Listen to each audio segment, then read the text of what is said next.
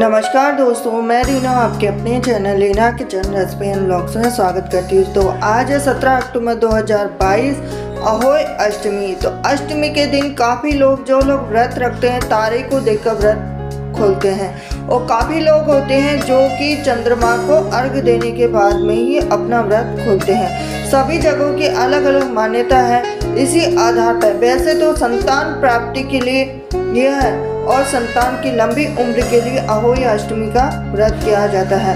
काफ़ी क्षेत्रों में जैसे यूपी और एमपी साइड में अहोई अष्टमी का व्रत किया जाता है, लेकिन जो राजस्थान की तरफ़ ये व्रत बहुत कम किया जाता है। तो आज मैं आपको बता देती हूँ कि 17 अक्टूबर 2022 आज सोमवार के दिन आज चाँद कितनी बजे निकलेगा? तो चंद्रोदय का समय है रात को ग्यारह बज के पच्चीस मिनट पर और चंद्र अस्त होगा एक बज के नौ मिनट पर।